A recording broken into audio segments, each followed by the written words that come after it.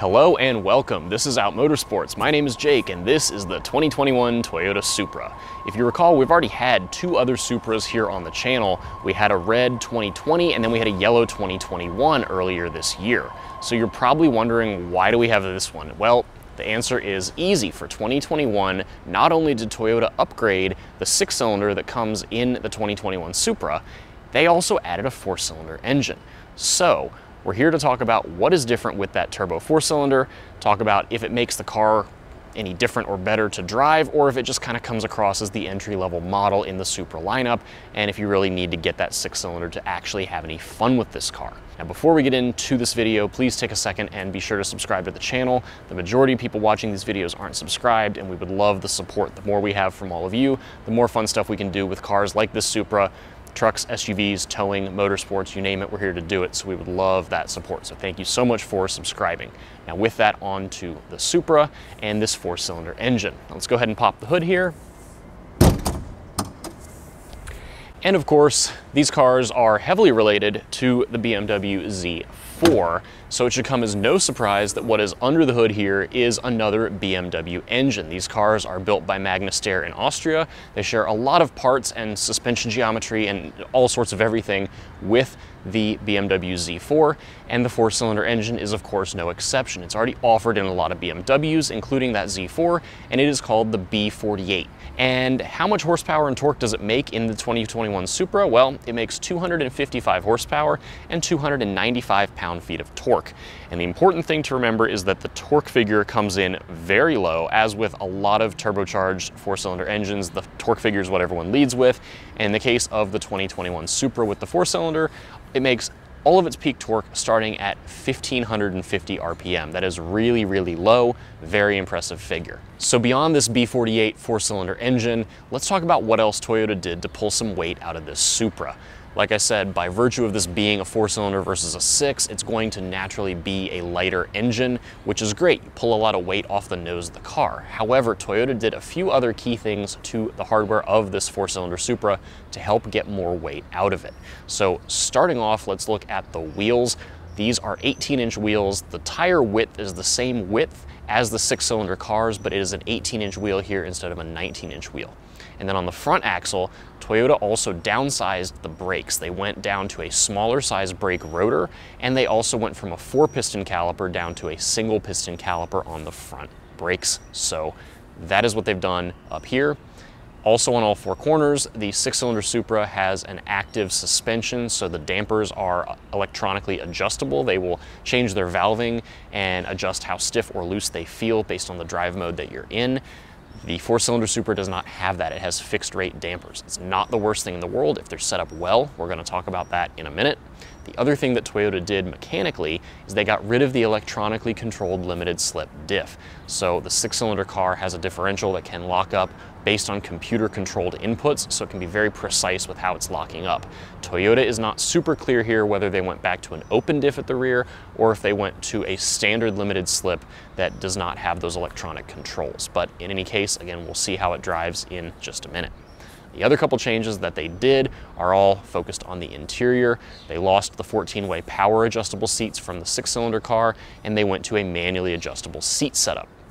The final piece of this whole car that is different is with the sound system. On the six-cylinder cars, they have a 10-speaker JBL branded sound system, and here in the four-cylinder cars, you lose the 10-speaker system and you have just a basic four-speaker setup. So with all that, it may sound decontented, however, the six-cylinder Supra weighs 3,400 pounds, which I don't find to be that heavy for a car that's kind of a GT car, kind of a sports car, if you will.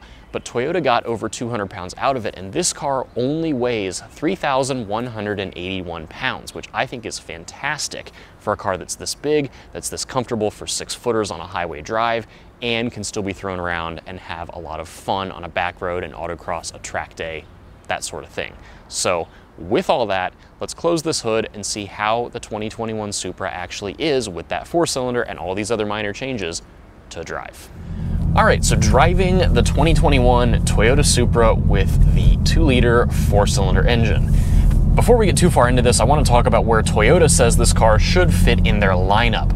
They make a very explicit point of saying that this car exists to offer a third option for the people who feel like they want something a little bit more than the Toyota 86, which is on the more entry level side of things, but they don't want or need or can afford the 3 liter version of the Supra because it does get a little expensive. What's interesting is all things identical, this Supra with the 4 cylinder is almost exactly $10,000 cheaper than the Supra that I drove earlier this year with the 6 cylinder. So, yeah, it is a much more affordable option if you want a Supra in general, or if you want something that's a little different from the 86, but you maybe can't afford the six cylinder or you don't want all of the kind of GT prowess that comes with having that six cylinder. Those cars are pretty good on a road course, they're great on back roads, they're certainly very fun, but this one is quite a bit lighter and you know, just in theory will have a very different character to it.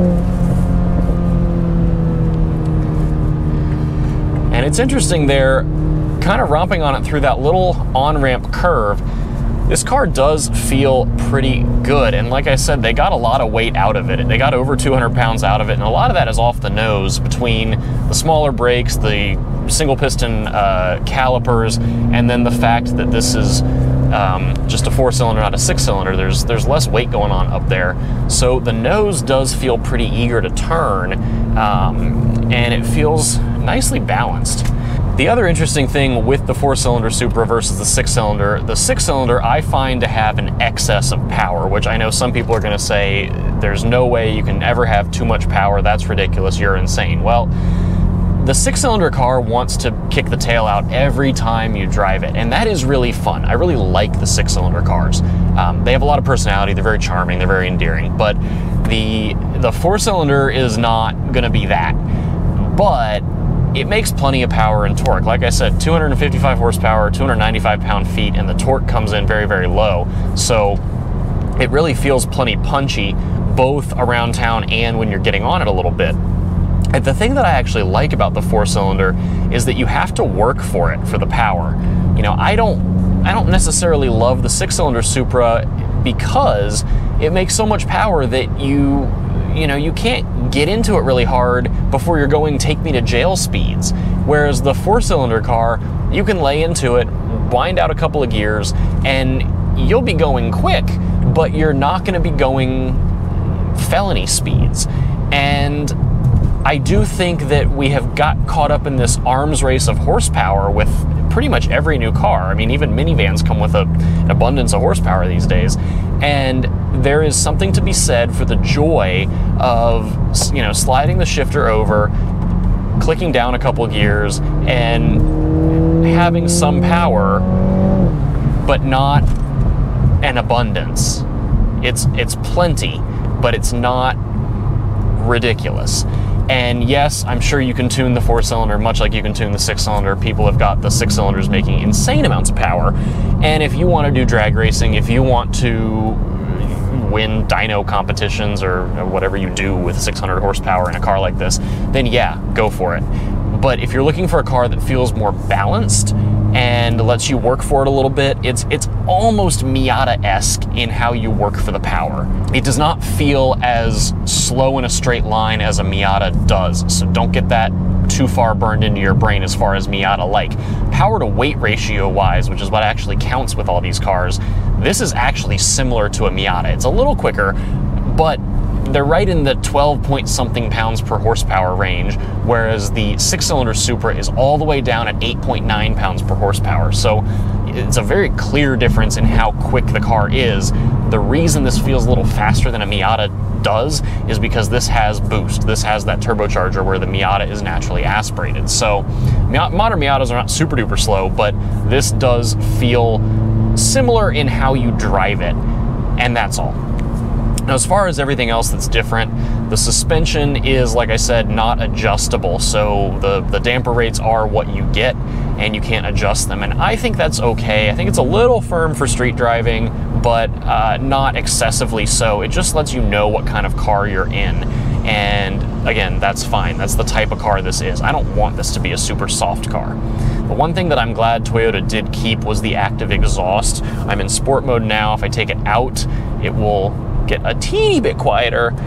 And back in sport you can feel it take on this little deeper baritone. But I do like the fact that they kept the exhaust. They did try to add in a little bit of that pop and burble overrun sort of noise out of the exhaust, and I mean, I think it's kind of silly on on the six-cylinder Supra, so I'm glad that it's not really super prevalent in this one, but uh, it is there if you really listen for it. The other benefit of the four-cylinder Supra is that power to weight wise, again, this lets you fit in some different classes. If you're thinking about motorsport, as many of us are, this car will let you fit in some different classes than the six cylinder cars would. So, yes, you can do all the other mods that you would to one of these cars as far as suspension, wheels, tires, maybe brake pads, but you're making less horsepower, the car weighs less to start, and I've heard several people talking about what they would do if they bought a four cylinder Supra versus the six cylinders that they've purchased. And that is no more apparent than in NASA's time trial classes. Those are power to weight classes with points added for modifications. And if you want to start with a lighter car in general, the four cylinder would be the one to do it with. So, certainly an interesting thing to think about. Toyota is giving you a free NASA membership for one year, and they're giving you a NASA track day as part of your Supra purchase. So, Toyota really wants to see these cars out on the track, whether they are four cylinders or sixes, and I think it's really great that a lot of people in the motorsports community who I reached out to when I had this car got very excited about having the four cylinder. So, to answer the question I asked early on, do I think this is just, quote, the base model and you should avoid it at all costs? No, absolutely not. I think you should look at what works for you price wise and you should see what you really value more because this one does feel lighter on its feet. It feels a little more nimble to me, and I do like how it turns in a little bit more than the six cylinder just by virtue of having less weight up front. The one thing that I really, really miss is the sense of occasion that you get from driving the six cylinder Supra. Yes, it's all BMW underneath, but it is still a very good inline six. It sounds very good, and the Supra is a shouty car by nature of its design, by nature of what it is. And I, I do think you lose a little bit of the drama and the flair when you've got the four cylinder. It doesn't have quite the same bark when you start it up. It doesn't have all those noises that only an inline six can make. So, do I miss the noise? Absolutely. Do I miss it $10,000 worth? I don't know. So, as far as how I feel about this versus the six cylinder, which one I would personally buy. I really think it's a, a, very personal decision, and it's it's almost like one of those. You know, do you believe that every Ford Mustang has to have a V8, or are you okay with the notion of the really good EcoBoost cars? This is the same deal. If you believe that every Supra has to have an inline six cylinder, and you're all hung up on the name and what it is, then sure, go buy a six cylinder. It's a really, really good car. If you care more about the overall driving experience and want something that's a little lighter, a little more nimble, a little more just not quite so GT car and a little more agile everywhere, I do think the four cylinder makes a really compelling case. Plus, like I said, with the classing, if you're going to go compete in one of these with NASA or some other sanctioning body, it is really worth considering how the four cylinder versus the six cylinder fit into different classes. So, certainly worth a drive, worth a thought. And again, it is $10,000 cheaper, give or take. So, how much do you really like the noise afforded by the six cylinder? Yes, you get the fancy suspension and the fancy diff and the bigger wheels and better sound system and, and all those good things, but do you need all that? Or do you just want all that? We got by and made some really, really good cars to drive without all that before. And we all love new toys and, and more is better, but I don't think more is better some of the time. And I think this is a case where uh, more is just different. All right, and that is it for this review of the 2021 Toyota Supra with the 2-liter 4-cylinder engine and all of the other changes that Toyota has made. Thank you so much for coming along. As always, please be sure to subscribe right here on YouTube. Make sure to turn on that notification bell so you don't miss a single thing going on here. You can also give us a follow on Facebook and Instagram. And if you're looking to connect with other LGBT automotive enthusiasts and motorsports competitors, please head over to outmotorsports.com. We have a whole community of folks over there that would love to meet you and have you join us. Until next time, please stay safe, be well, we'll see you again soon.